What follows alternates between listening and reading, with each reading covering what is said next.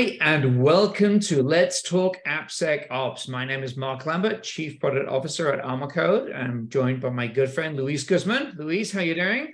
Doing excellent. How are you? We're back into Zoom land after yeah. you know coming off a great week at RSAC 2023, and you know coming straight out of that, we're looking at the next big event, which will be AppSecCon in June. Mm. Last year we hosted AppSecCon, a little over 2,200 registrars, uh, registrations. Um, it was, uh, I think, a total of 40 something speakers. Um, really great virtual conference. I suggest you check out the uh, recorded sessions. They're available on YouTube. They'll, we'll put them in the show notes below. But one topic that we covered during AppSecCon last year, and we're going to repeat it this year, is the state of application security operations report. So we ran that last year, um, and we've just launched the new version. Again, check the show notes. You'll be able to click on and take the survey. If you take the survey, you'll have a chance to win uh, one of, I think it's five or so, or $100 gift cards. Um, um, and also, you'll be able to access last year's report. So Here's the interesting thing when you run a report multiple years in a row, you get to start seeing trends. But let's take a step back, right, Luis? Let's let's look at what we did last year. Um, and uh, as I said, there was a session presented. You can download the results, um, and it was a really interesting report that we ran. It was, and I think one of the the big aha moments for me was how many people responded and their responses to those were they seemed very transparent. So um, for whatever reason how how we set it up was really conversational that people wanted to talk about what was going on. Um, yeah, so- yeah, we, we had over 500 respondents um, um, covering both security and development. So, you know, really kind of like, and also leaders and practitioners, which gave us a great set of data that we could segment. Um, certainly, when we were looking at the demographics, there were a lot of people that were mature, but you can kind of split them into three key bucket areas. Those which are count themselves as mature, somewhat mature, and three and just starting. So again, we got a good distribution of that. And, and one of the key things that jumped out is that organizations still have unmanaged risk in their portfolio. So it's getting out into production. It's not not a problem that you have risk. We all have risk. The problem is whether or not it's managed. Yeah, and and then the, I think the the questions on there being able to understand that unmanaged risk, right? What is that unmanaged risk? What is a you know how often do critical or high severities get out there, right? That that was a question that was on there. Um, so it was really interesting how they responded. Do you do you want to you know give it a little bit more light to that? Yeah, so so when we looked at the data, we actually try to categorize what a leader looked like. So you know, pulling out that you know where do they rate themselves in the maturity, but also understanding how well they're handling or managing that risk. So you know, how often do vulnerabilities make their way into production? And certainly when we look at the audience there, we defined a leader as that they never released a critical vulnerability into production and never or rarely released a high. And that only mm-hmm. represented about 7%, a little over 7% of the audience. What was shocking when we looked at that is that over 25% of the audience, you know, either it was in every release that they were pushing criticals and highs out, or they didn't actually even know, which is kind of like one of those even scarier things, I think. Well, that right there, that you don't know. That's what we talk about invisibility all the time. It's like this is a real pillar of what you're going to try to do in your environment is can you see it? Do you know? Are you being alerted? Is there a monitoring mechanism? No visibility, then you have no idea what's going on. Yeah. Yeah. And and and you have to you know, we've got this big push to release software quicker, right? We, we, we know this, we live this, you know, you know, when we talk about, you know, the presentation I delivered at RSA last year, uh, uh, last year, last week, last week. Um, uh, was all about kind of like how software delivery has changed. And, and mm-hmm. certainly the, the data in last year's report also demonstrated the same thing. You know, um, over 60% agreed that shipping fast takes priority over shipping secure. Mm-hmm. Um, and the question is, how do we put mitigations in place, controls in place, so that we can kind of like mitigate that risk. And obviously, one of the things that we could potentially do is slow down releases. But what we identified there was actually there's a there's a juxtaposition there because if I slow down the release, I don't have the ability to respond to zero days. Mm-hmm. So that sweet spot seemed to be last year every two weeks was the release cadence, right? If we look at the leaders, they were kind of like releasing every two weeks. It's going to be really interesting to see how that has evolved as we move forward this year. I can pontificate. I can I can guess, right? I can future cast that it's going to stay around the same, or it might have even gone up. I think it's going to have gone up. Um, I think the the the usual the traditional waterfall centric um even though you know agile-ish whatever we want to call it you know like hey i'm going to gate the pipeline right? I'm going to you know the ability for me to be able to respond is i have to slow things down. That mm-hmm. doesn't work because of the zero days. Again right. security is not a point in time anymore. Um and the, what we have to do is reduce that feedback loop. So another interesting thing that came out um was that the number one initiative to really manage that risk is to put tools into the pipeline.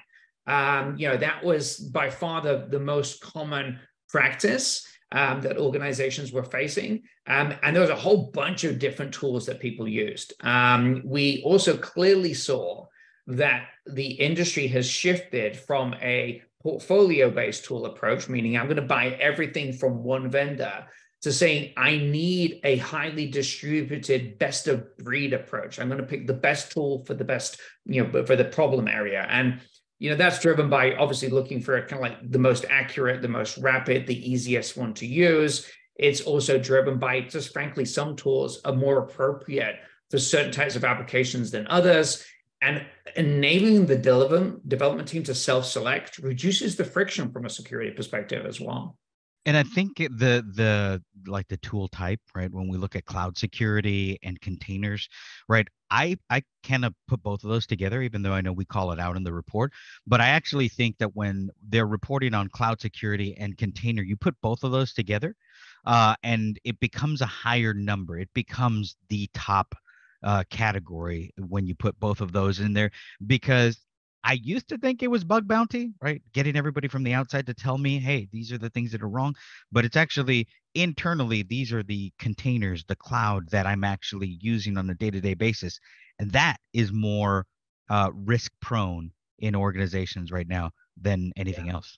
Yeah, and if I if I take that back a second, right, and I think about that, you know, it, looking at that data in hindsight, really that has really shown the thing that we've seen this year as as we've been we talking with clients about this intersection between AppSec and infra and these two worlds coming mm-hmm. together. I mean, like the rise of CNAPP, right, is a good a, a good good indicator of that. While that really only helps us in a truly cloud native world, um, you know that that concept of unifying AppSec and vulnerability management together is ubiquitous. It's it's it's, it's certainly the primary driver.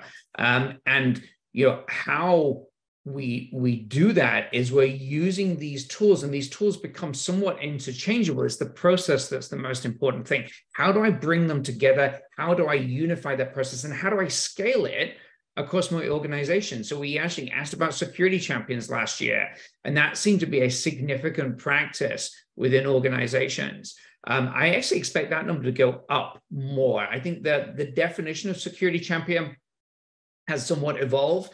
Um, uh, but I do see that security champions is like you know a key element to maturing your your application security program.